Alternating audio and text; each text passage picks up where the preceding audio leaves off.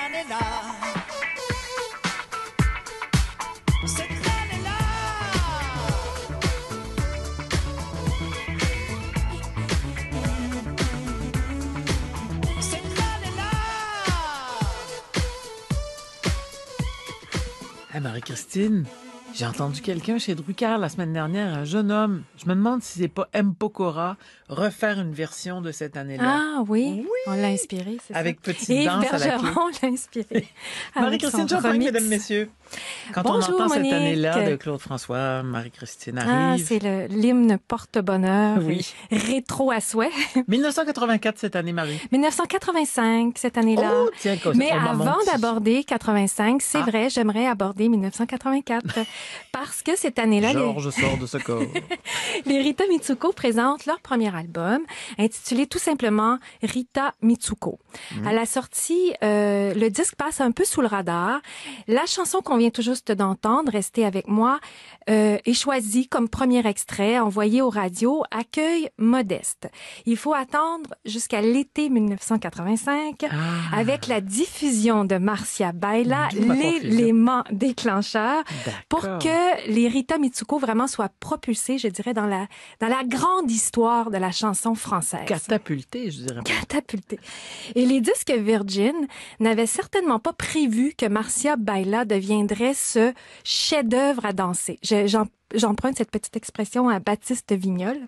Parce que la chanson, preuve en est, c'est que la chanson, elle est placée sur la face B du disque, puis est en troisième position. Donc, Ah oui, d'accord, d'accord. ce qui est comme une stratégie anti-commerciale, Oh, ben, en déjà effet, parce oui. que souvent les tubes, on les voit apparaître bien en vue sur la face A. Oui. Donc euh, voilà pour Marcia Baila, il y a quelque chose là qui a glissé entre les doigts de, Ben, du de directeur Virgin. artistique, oui, en effet, il, il pas, il dormait sur le piton. Peut-être. Donc, euh, euh, l'Erita Mitsuko, c'est Catherine Ringer, Fred Chichin. Ils créent ce merveilleux duo en 1979. Ils font tout à deux. Et c'est vraiment à deux qu'ils vont, je dirais, inventer un rock français qui ressemble, qui ressemble à rien de connu. Oui, hein. oui, absolument. Puis C'est une Bertrand, révolution. c'est une révolution, exactement. Puis Bertrand Dical, dans son livre Les chansons qui ont tout changé, s'interroge. Il dit, si c'était les Rita Mitsuko qui avaient créé le rock en français. Mmh. Bien Et non pas Robert sûr. Charlebois. Ah, non, mais Soyons avant chauvins. Robert Charlebois, il y a eu Boris Vian avec son ami vrai. Henri Salvador dans les années, des années 50, à qui l'on doit vraiment les quatre premiers rock and roll français à 100% Il y a eu bien sûr les années yéyé, mais là c'était autre chose. Hein. On copiait, on adaptait les, Les grands succès ah oui. anglais, américains.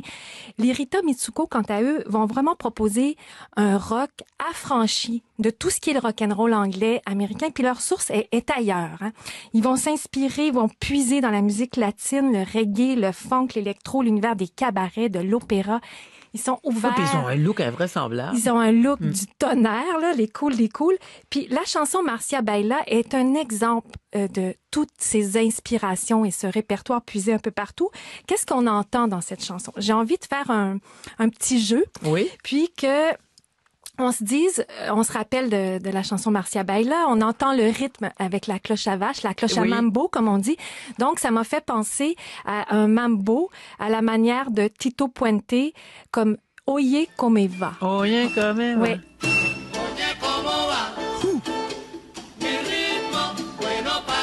C'est vrai, hein?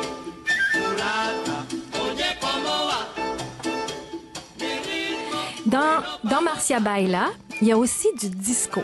Et là, je pense à une chanson comme Let's All Chant de Michael Zigerban, un tube de 1979.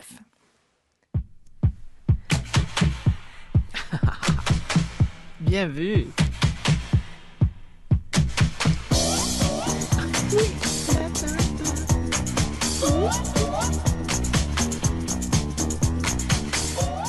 J'ai même pensé que, parce qu'il y a un son électro, un son électronique euh, très original, très unique chez les Rita Mitsuko, qu'on entend aussi des sonorités de cette pièce qui s'appelle Tongpu d'un groupe japonais Yellow Magic Orchestra.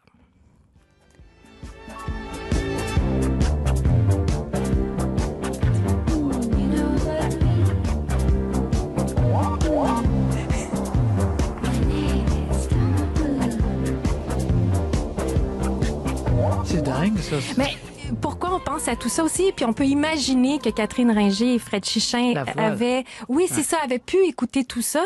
C'est que, premièrement, ils viennent de l'underground parisien, ces deux-là.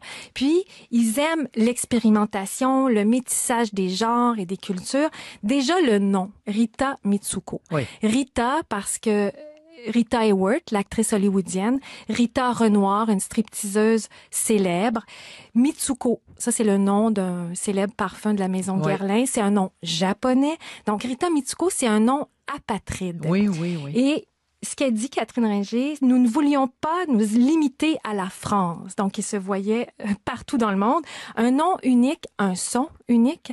Et Marcia Baila, c'est une, un des premiers tubes français qui a été fabriqué à la maison. Catherine et Fred ont un petit deux pièces parisien qui est aussi leur studio. Les voisins doivent être contents. Oui, c'est là qu'ils vont bricoler les neuf, euh, les neuf chansons du, du premier album. Puis lorsqu'ils vont vouloir peaufiner ce son avec une technologie de pointe, ils vont se rendre en Allemagne pour aller travailler avec un réalisateur célèbre, Konrad Planck, à qui l'on doit les disques de Kraftwerk, de Eurythmics. Ah, oui. Et lui, que va faire Ronald Planck?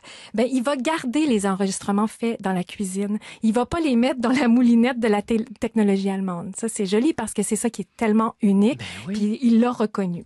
Donc, on disait Marcia Baila, tube de l'été, 1985, mais une chanson rythmée avec une histoire triste. hein. Oui. C'est l'histoire de Marcia Moreto, une danseuse argentine qui, a- qui est disparue à quatre- en 1981 à l'âge de 32 ans, grande Mm. amie de Fred et Catherine. Et là, Quel hommage magnifique. quel parce hommage magnifique. hein, la chanson qui lui est dédiée est plus célèbre qu'elle-même, en oui, fait. puis on, on- on danse, on danse euh, euh, la mort, mais on, on danse la vie aussi, Mais oui, là, ce qui est magnifique. La Société des auteurs, compositeurs, éditeurs de musique, la SACEM, a déclaré en 1985 que la chanson Marcia Baila est la chanson la plus souvent diffusée de toute l'histoire de la radio en France. Ben voyons, toi. Et là, moi, je me dis que si ça c'est vrai, ça doit être vrai s'ils l'ont dit, hein, Ah, là, ça s'aime. mais qu'il serait pas étonnant que le vidéoclip aussi détienne un record de diffusion parce qu'on se rappelle tous le moment où on a découvert le clip de Marcia Baila et je dirais qu'on a découvert la grande Catherine Ringer, Ouais. l'excentrique Catherine Ringer avec ses tenues extravagantes qui étaient signées euh, Jean-Paul Gaultier, aussi euh, Thierry Mugler. Et là, on pense aussi à la danse, là, les déhanchements extraordinaires. Quel- quelque part, je dirais, entre le kung-fu, la danse de robot, Oui, oui. mais vraiment, puis aussi le cool Fred Chichin. Le, le- quel beau duo.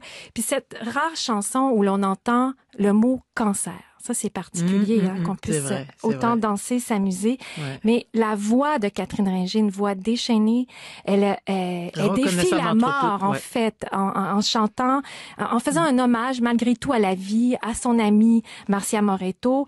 Puis aujourd'hui, ben c'est sûr, là, j'en ai un petit frisson, mais ça ajoute le souvenir de Fred Chichin, qui est Ouais. mort Lui aussi. trop jeune, trop jeune du cancer à l'âge de 53 ans en 2007.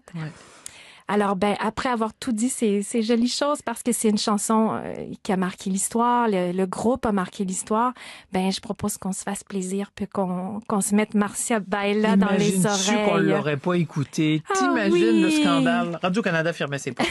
Merci beaucoup, Marie-Christine Champagne. C'était en 1985, mais c'est toujours Marcia Baila. Merci, Marie-Christine. Au revoir.